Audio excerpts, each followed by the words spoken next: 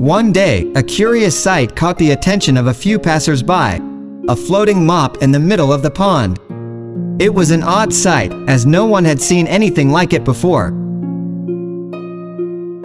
As days passed, the floating mop remained in the pond, and people started to wonder what it was.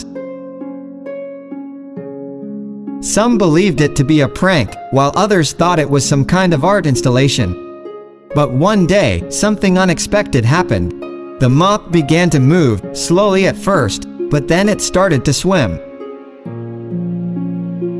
The locals were stunned, and they couldn't believe their eyes. As it got closer to the shore, they saw that it was not a mop at all, but a dog. A dog with fur that looked like a mop, hence the confusion. The locals were stunned. They had never seen a dog like this before. It was a beautiful dog with curly hair that resembled a mop. They decided to take the dog to a nearby animal shelter, where they hoped it could get the care it needed. The dog was quickly rescued by the bystanders who had gathered on the shore. They were amazed that the dog had managed to survive in the pond for so long, but it was clear that he needed help.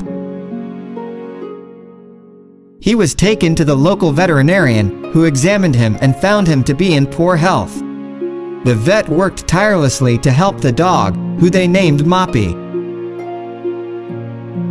It was clear that Moppy had been living in the pond for a long time, and his fur had become dirty.